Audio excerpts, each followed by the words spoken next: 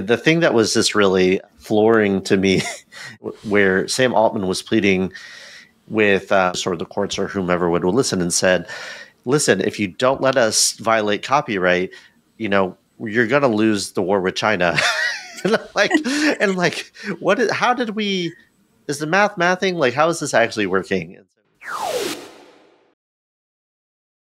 And I think a lot of people take a look at these tools that are coming out, leveraging AI as it's loosely defined, and they see these tools as being a replacement for the human creativity and not necessarily as a collaborator or a possible collaborative tool for for the artistic process. And I'm really curious to hear your perspectives on how these systems might not necessarily need to be used in a replacement of human creativity perspective or approach, but how they how they might actually have some potential uh, using them in a in a way that's a little more collaborative. And so. I want I want to take issue with the word collaborative actually because that's one sure. of these anthropomorphizing words that makes it sound like the thing on the other side is very human. Yeah, that's and true the you know anthropomorphizing this technology also tends to dehumanize people at the same time and i think mm-hmm. also if you if you think about using some sort of a remixing system as a mm-hmm. way of getting ideas let's say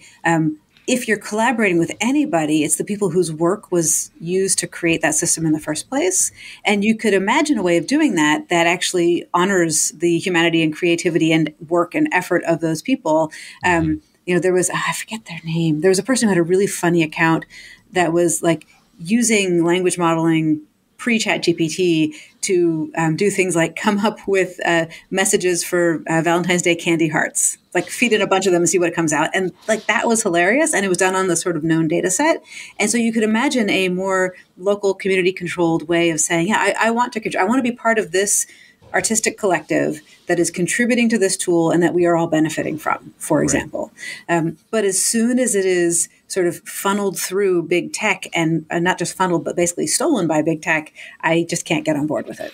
And I would say that there's, you know, some somebody that's been helpful to follow is uh, I don't know if you've seen this person, Ed Newton Rex.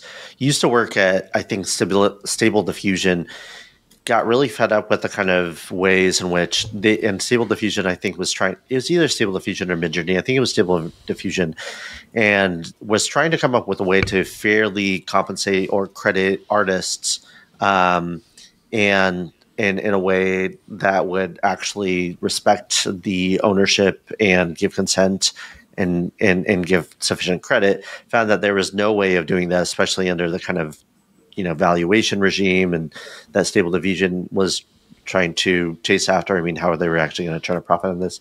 So he mm-hmm. ended up founding an organization called Fairly Trained, um, which has a lot of audio um, models and supports startups in which either models are certified to have consent compensation whatever um, or data sets that have have done that for for artists and a lot of them are audio in nature right mm-hmm. um, but I mean, yeah, just like Emily was saying, I mean, it's the element of control when when big tech gets in the mix, they want to uh, try to train the biggest, you know, the biggest model on everything or quote unquote everything without really any kind of respect to um, what the what the process of the human is and their what the artist is doing. And so, I mean, it, the thing that was just really um, flooring to me and really just to me gave the game away is what where Sam Altman was pleading with um, with uh, Congress or the courts or whomever would listen and said,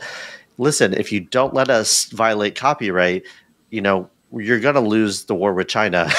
and like, and like, what? Is, how did we? Is the math mathing like? How is this actually working? And so it was just really, uh, you know, it was really indicative. Facial, facial recognition block. We're here to make a. Can't nobody stop. Everyone turn on your facial, facial recognition block.